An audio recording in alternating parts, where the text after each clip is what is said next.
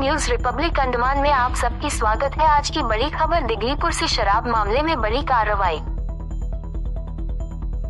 20 सितंबर 2024 को station house officer police station Kalighat के निकट समन्वय में S I M J Indrajit I C O P किशोरिंग PC दो हज़ार तीन सौ इकसठ रिपन मिस्त्री पी सी दो सौ बाईस मैरी पी सी दो हज़ार सात सौ छियानवे के हज़रत कुमार और ओपी किशोरिंग के पी सी पंद्रह सौ अट्ठानवे इरेनियस की एक टीम को तालबागान क्षेत्र में विशेष जाँच अभियान पर तैनात किया गया था।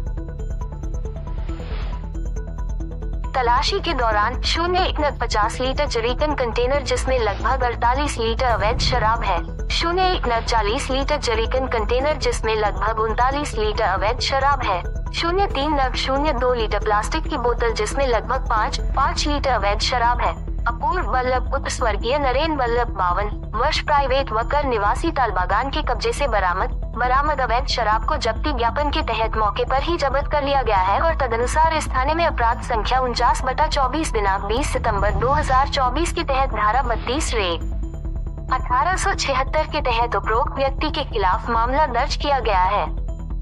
ये पूरी कार्रवाई S D P O Dilipur Shri Ankesh Yadav DANIPS के निर्देशन और पर्यवेक्षण में की गई आम जनता से अनुरोध है कि वे किसी भी अवैध गतिविधि से संबंधित किसी भी विश्वसनीय जानकारी को अपने नजदीकी पुलिस स्टेशन या फ़ोन नंबर सौ, एक सौ बारह और शून्य तीन एक नौ दो दो सात तीन तीन चार चार पर दे और साझा करें।